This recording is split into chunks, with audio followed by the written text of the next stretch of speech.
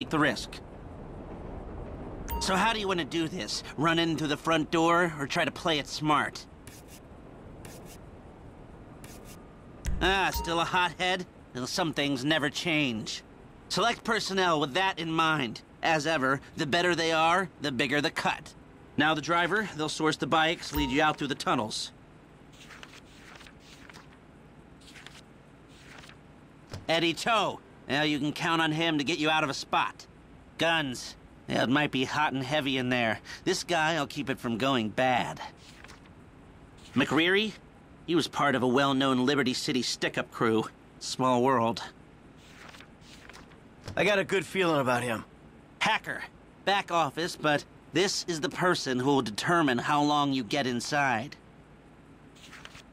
This guy, Rickie. I met him at the Lifeinvader office. He may not be that good, but he's enthusiastic.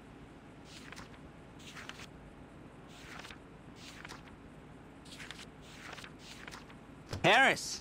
Good. Feminine touch. She'll be able to find any back doors they got. That look good to you? Are you sure? Okay, uh, I'll look into how you can find a tac team and get their weapons, and I'll be in touch. Oh, yes. Good, good. I'll call you when everything's ready. You'll need to pitch it to the guys. Whoa, what? My rep don't count for nothing no more. You're a dead man, Michael. I'll call you.